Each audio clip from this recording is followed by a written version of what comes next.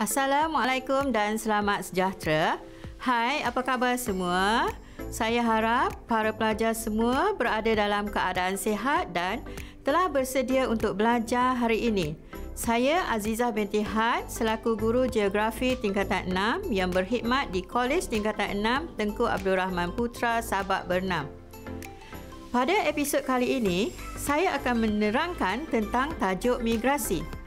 Sebelum saya meneruskan penerangan ini, mari kita lihat dahulu objektif pembelajaran kita pada hari ini. Objektif pertama ialah semua pelajar dapat menjelaskan tentang konsep migrasi. Objektif yang kedua, pelajar dapat mengenal pasti jenis-jenis migrasi dan pola migrasi. Objektif yang ketiga, pelajar dapat menjelaskan faktor yang mempengaruhi migrasi. Dan objektif keempat, pelajar dapat menghuraikan kesan-kesan migrasi. Baiklah para pelajar, sekarang mari kita lihat apakah yang dimaksudkan dengan migrasi. Tentu para pelajar pernah mendengar tentang migrasi. Seringkali migrasi dikaitkan dengan perpindahan atau penghijrahan. Ada tak dalam kalangan pelajar yang ibu bapanya pernah berpindah ke satu tempat? Contoh berpindah dari Kuala Lumpur ke bandar atau dari bandar ke kampung untuk tempoh masa tertentu.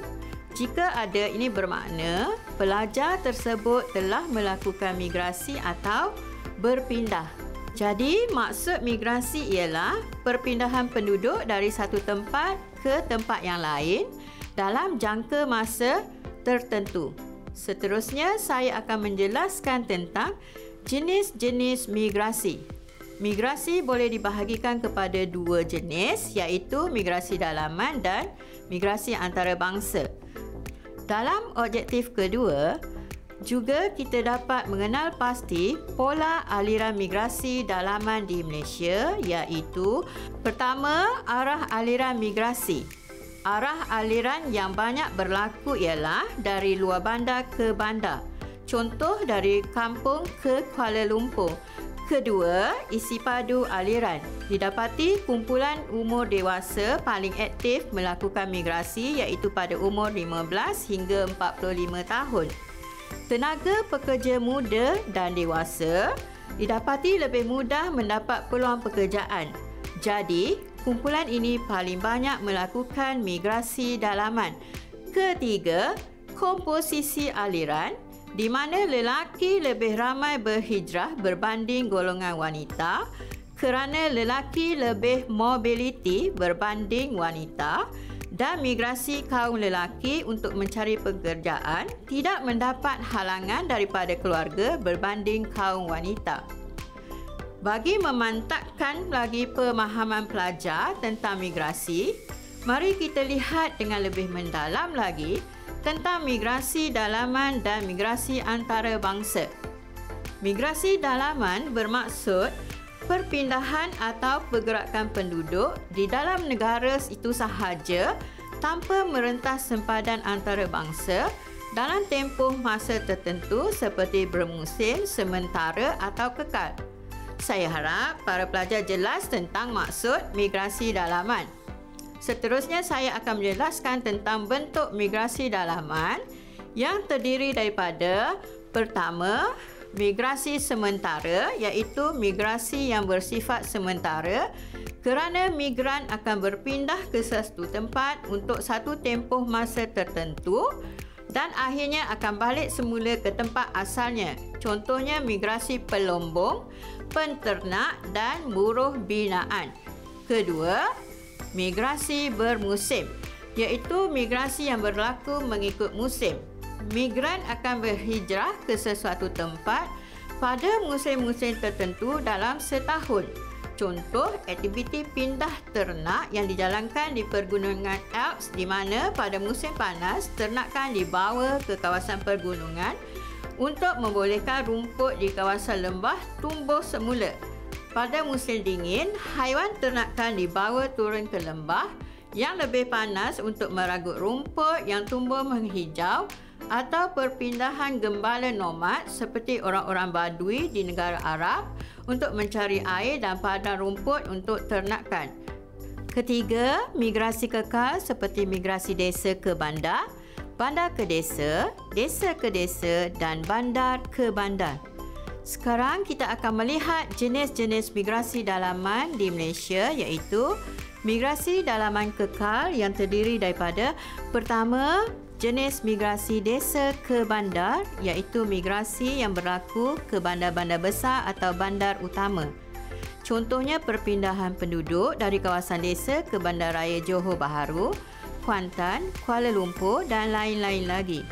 Kebanyakan migrasi ini berlaku dalam kalangan golongan muda. Kedua, jenis migrasi desa ke desa.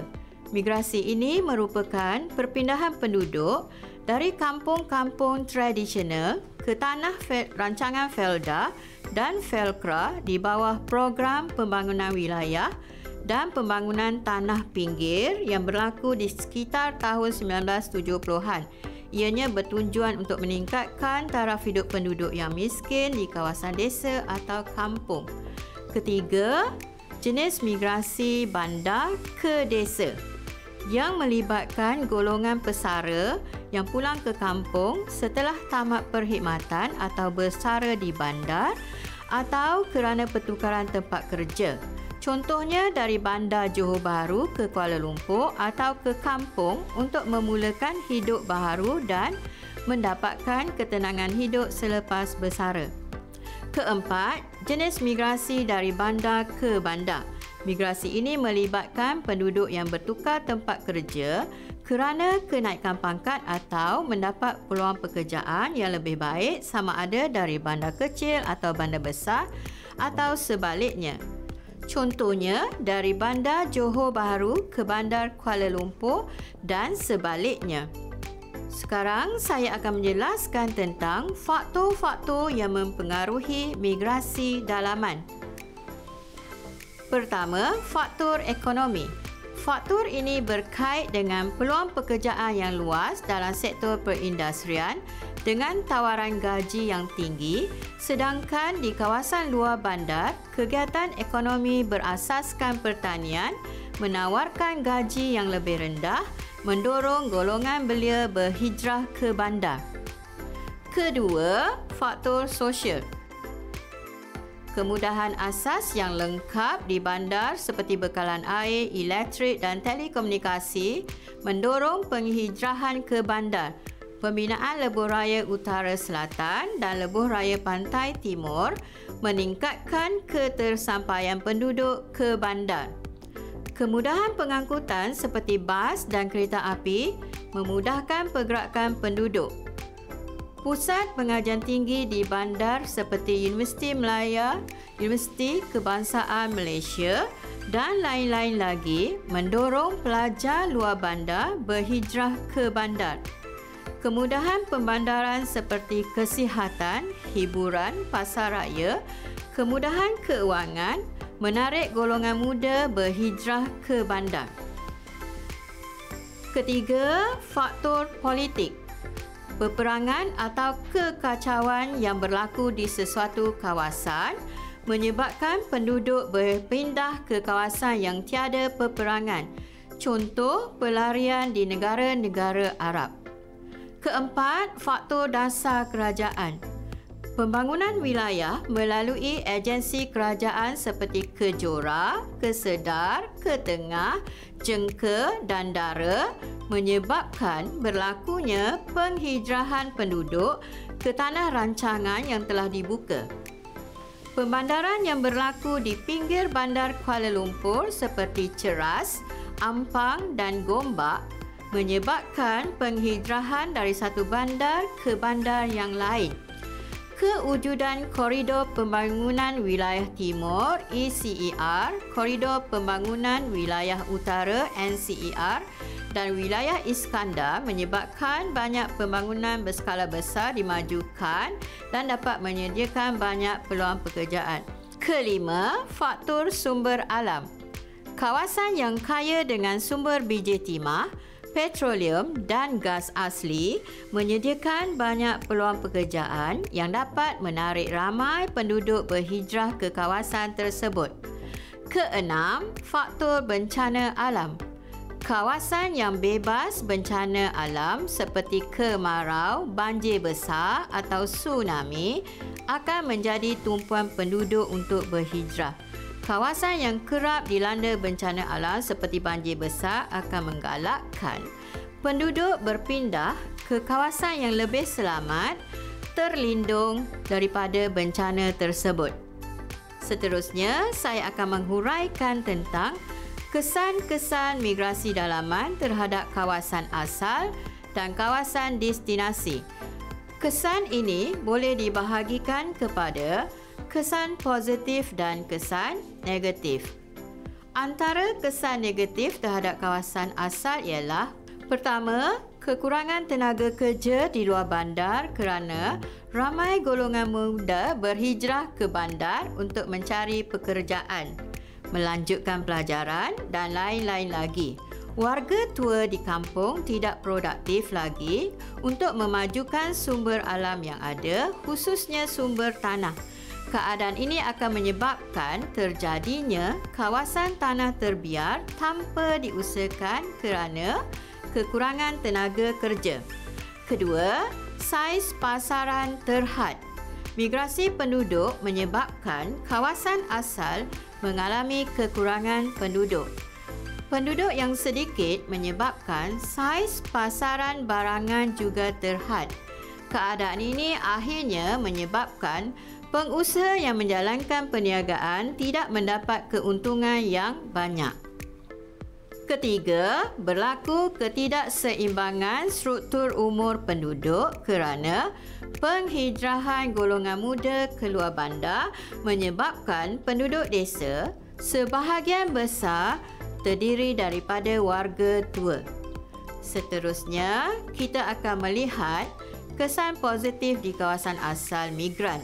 Antara kesan tersebut ialah pertama, dapat mengurangkan tekanan ke atas sumber. Migrasi penduduk ke kawasan bandar dapat mengurangkan tekanan ke atas tanah-tanah pertanian di kawasan asal. Oleh itu, kawasan asal yang padat penduduk pada mulanya boleh dikurangkan.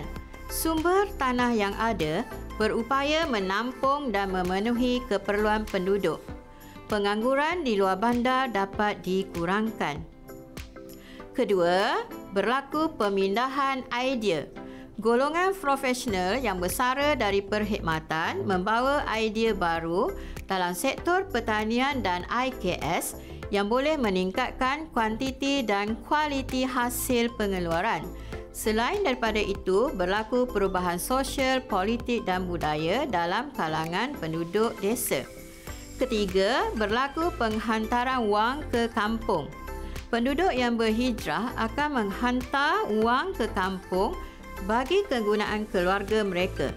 Keadaan ini akan dapat menambahkan tabungan penduduk dan seterusnya meningkatkan kualiti hidup penduduk di mana kuasa beli di kawasan asal juga dapat ditingkatkan. Seterusnya, kita lihat pula kesan terhadap kawasan destinasi. Antara kesan-kesan negatif ialah pertama, peningkatan kadar pengangguran. Golongan yang berhijrah mempunyai pendidikan yang rendah dan sukar mendapatkan pekerjaan di bandar. Peluang pekerjaan yang sedikit berbanding pertambahan penduduk menyebabkan kadar pengangguran meningkat dalam kalangan migran. Kedua, wujud kawasan setinggan kekurangan rumah kos rendah dan nilai rumah yang tinggi di bandar menyebabkan wujudnya kawasan pertempatan setinggan. Hal ini berlaku kerana golongan migran yang berpendapatan rendah tidak mampu untuk membeli atau menyewa rumah yang mahal di bandar. Ketiga, berlaku kesesakan di bandar. Keadaan ini berlaku kerana pertambahan penduduk menyebabkan pertambahan kediaman, kenderaan dan jaringan pengangkutan. Kesesakan lalu lintas berlaku pada waktu puncak pagi dan petang. Keempat, masalah sosial. Kadar pengangguran dalam kalangan migran yang ramai serta kos hidup yang tinggi di bandar mendorong berlakunya masalah sosial seperti kecurian, pelacuran, pecah rumah, penagihan dadah dan sebagainya. Kelima, berlaku tekanan terhadap sumber alam. Migrasi penduduk akan menyebabkan permintaan sumber tanah semakin tinggi untuk pembangunan pelbagai aktiviti ekonomi seperti perniagaan, pembinaan, perkhidmatan dan sebagainya. Tanah yang semakin terhad menyebabkan berlaku persaingan guna tanah dan akhirnya harga tanah menjadi semakin mahal. Keenam, berlaku pencemaran sumber alam. Pertambahan penduduk di bandar-bandar besar menyebabkan berlaku pencemaran air dan udara. Pencemaran ini berlaku disebabkan oleh pembuangan sisa-sisa industri, sampah sarap dan penggunaan kenderaan bermotor. Ketujuh, berlaku kerosakan sumber. Penerokaan tanah untuk pembinaan kawasan perumahan menyebabkan berlakunya kerosakan sumber seperti tanah runtuh dan kemusnahan sumber hutan. Seterusnya, kita lihat pula kesan-kesan positif migrasi dalaman terhadap kawasan yang dituju. Kesan pertama ialah kemajuan ekonomi. Pertambahan tenaga kerja dalam pelbagai sektor ekonomi seperti pertanian, pembinaan, perindustrian dan perkhidmatan dapat memajukan sektor ekonomi tersebut. Contoh, tanah rancangan Felda telah dimajukan dengan sektor peladangan kelapa sawit dan getah apabila berlaku migrasi masuk peneroka pada tahun 1970-an. Kedua, kemajuan infrastruktur. Migrasi masuk menyebabkan pertambahan penduduk. Oleh itu, infrastruktur akan disediakan bagi memenuhi keperluan penduduk seperti kemudahan perumahan terancang, bekalan air, bekalan elektrik, jaringan pengangkutan dan perhubungan. Keperluan pendidikan seperti sekolah, kolej dan IPT. Kemudahan kesihatan seperti klinik, poliklinik dan hospital turut dimajukan. Ketiga, saiz pasaran bertambah Pertambahan penduduk akan meningkatkan pasaran barangan kerana kemajuan ekonomi yang pesat di bandar menyebabkan peluang pekerjaan yang banyak dan meningkatkan pendapatan penduduk. Pendapatan yang tinggi dapat meningkatkan lagi kuasa beli mereka. Keempat, mengwujudkan keseimbangan kaum penghijrahan penduduk Melayu ke bandar-bandar seperti Kuala Lumpur dan Ipoh dapat mengimbangi kaum di bandar tersebut. Kelima, berlaku pembauran inovasi. Migrasi masuk tenaga profesional yang berpendidikan telah mewujudkan golongan kelas menengah di bandar. Golongan ini menjadi ejen untuk menggerakkan pembangunan sosioekonomi di bandar melalui penyebaran inovasi, hasil penyelidikan dan pembangunan serta kemajuan teknologi. Keadaan ini dapat memperkenalkan budaya dan cara hidup moden. Keenam, mempercepatkan proses pembandaran. Penghijrahan penduduk ke kawasan bandar menyebabkan peningkatan kawasan perumahan, infrastruktur dan beberapa kemudahan perkhidmatan. Keadaan ini akan menyebabkan saiz bandar menjadi semakin besar di mana lingkungan pengaruh bandar semakin meluas. Sekarang kita akan melihat pula tentang migrasi antarabangsa. Migrasi antarabangsa merupakan perpindahan atau pergerakan penduduk merentas sempadan antarabangsa dalam tempoh tertentu sama ada sementara, bermusim atau kekal.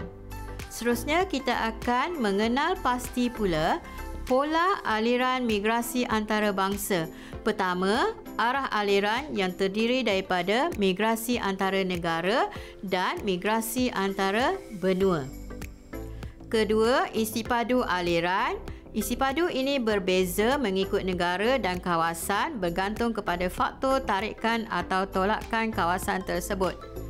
Pola ketiga, komposisi aliran yang terdiri daripada jantina, umur dan taraf pendidikan. Kebanyakan migran profesional terdiri daripada kaum lelaki manakala migran yang bekerja sebagai pembantu rumah terdiri daripada kaum wanita. Para pelajar sekalian, sekarang kita lihat pula jenis-jenis migrasi antarabangsa yang boleh dibahagikan kepada dua iaitu pertama, migrasi antara negara yang melibatkan pergerakan penduduk melintasi sempadan antara negara seperti dari Indonesia ke Malaysia, Myanmar ke Malaysia dan lain-lain lagi. Kedua, migrasi antara benua seperti dari benua Asia ke benua Eropah, benua Asia ke benua Afrika, benua Amerika ke benua Asia atau dari benua Eropah ke Amerika. Sekarang kita akan melihat pula faktor-faktor yang mempengaruhi migrasi antara bangsa. Pertama, faktor ekonomi seperti tarikan peluang pekerjaan dan perniagaan yang luas yang menawarkan gaji yang lebih tinggi serta nilai mata wang negara yang dituju lebih tinggi daripada nilai mata wang negara asal. Kedua, faktor sosial. Kawasan yang mempunyai banyak kemudahan asas, kesihatan, pengangkutan dan perhubungan menjadi tarikan penduduk untuk bermigrasi. Segala kemudahan ini dapat memberi kualiti hidup yang lebih baik. Ketiga, faktor dasar kerajaan yang menggalakkan kemasukan buruh asing untuk memenuhi keperluan tenaga buruh dalam sektor pembinaan dan peladangan. Urusan pengeluaran permit dan visa yang lebih mudah menggalakkan migrasi antarabangsa. Keempat, faktor ketersampaian yang tinggi. Negara-negara yang bersempadan dengan Malaysia seperti Thailand, Myanmar dan Indonesia memudahkan pergerakan masuk migran. Sistem pengangkutan yang cekap seperti kapal terbang, feri dan lain-lain lagi akan memudahkan perjalanan supaya cepat sampai ke sesuatu kawasan. Kelima, faktor geobudaya. Negara yang mempunyai persamaan dari segi adat resam dan budaya menjadi tarikan migrasi penduduk. Migrasi juga berlaku kerana adanya tali persaudaraan atau ikatan perkahwinan antara negara yang berjiran seperti Malaysia dengan Indonesia. Keenam, faktor politik. Keadaan politik yang stabil di negara destinasi berbanding negara asal menjadi tumpuan kepada migran asing untuk berpindah ke negara tersebut. Ketujuh, faktor bencana alam. Negara yang bebas daripada bencana alam seperti gempa bumi, letusan gunung berapi, ribut taufan dan kemarau menjadi tumpuan migran seperti negara Malaysia yang kurang masalah bencana alam yang teruk. Berikutnya saya akan menjelaskan tentang kesan migrasi antarabangsa terhadap kawasan destinasi. Antara kesan-kesan negatif ialah pertama, peningkatan masalah sosial. Antara masalah sosial yang sering berlaku ialah masalah jenayah seperti meragut, merompak, pelacuran, keldai dadah dan black money yang dilakukan oleh warga asing. Selain itu, berlaku juga masalah perkahwinan yang tidak sah di sisi undang-undang dari segi kewarganegaraan. Kedua, wujud kawasan setinggan. Migran tidak mampu untuk menyewa rumah kerana kadar sewa yang tinggi akan membina rumah secara haram di atas tanah rizab kerajaan keadaan ini akan menyebabkan berlakunya pencemaran air, udara dan bau di kawasan setinggan kerana sistem peparitan dan kumbahan yang tidak sistematik. Ini akan menyebabkan wujudnya penularan wabak penyakit berjangkit. Ketiga, berlaku persaingan dengan buruh tempatan. Persaingan berlaku dalam sektor perniagaan, pertanian, pembinaan dan perkhidmatan. Majikan lebih suka mengambil tenaga buruh asing kerana kosnya lebih murah berbanding penduduk tempatan. Keadaan ini akan menyebabkan berlakunya masalah pengangguran dalam kalangan penduduk tempatan. Keempat, berlaku pengaliran keluar wang negara. Keadaan ini berlaku apabila warga asing menghantar wang ke negara asal mereka. Oleh itu, wang tidak berkitar di dalam negara destinasi dan ini akan merugikan negara destinasi dan seterusnya boleh melambatkan proses pembangunan negara. Kelima, berlaku kekurangan kemudahan asas. Pertambahan pendatang asing meningkatkan permintaan terhadap kemudahan kesihatan dan perumahan. Permintaan yang tinggi menyebabkan kemudahan asas yang tidak mencukupi. Berikut adalah kesan positif migrasi antarabangsa. Antara kesan-kesan tersebut ialah pertama, pembangunan ekonomi negara. Sektor pertanian, pembinaan infrastruktur dan perkhidmatan akan berkembang pesat dengan adanya buruh asing di mana kekurangan buruh tempatan boleh ditampung oleh kemasukan tenaga buruh asing. Perkembangan ekonomi dalam pelbagai sektor menyebabkan KDNK negara meningkat. Kedua, berlaku perluasan pasaran domestik. Pertambahan penduduk akibat kemasukan warga asing akan meningkatkan pasaran dalam negara. Kuasa beli domestik bertambah dan seterusnya memperkembangkan ekonomi negara hasil pembelanjaan yang dilakukan oleh warga asing. Ketiga, dapat meningkatkan tenaga kepakaran, kemasukan tenaga profesional dan tenaga pakar dapat membantu membangunkan negara destinasi. Mereka dapat mencipta inovasi baru yang boleh memberi manfaat kepada masyarakat setempat. Baiklah para pelajar sekalian, kita telah sampai ke akhir rancangan. Namun, sebelum kelas kita berakhir pada hari ini, marilah kita bersama-sama menguji minda bagi melihat sejauh manakah pemahaman pelajar tentang tajuk yang telah saya terangkan sebentar tadi. Soalan 1A, nyatakan tiga jenis migrasi dalaman di Malaysia. Soalan B, huraikan tiga pola migrasi dalaman di Malaysia pada masa kini. Dan soalan C, jelaskan tiga faktor ekonomi yang menyebabkan kemasukan warga asing ke Malaysia.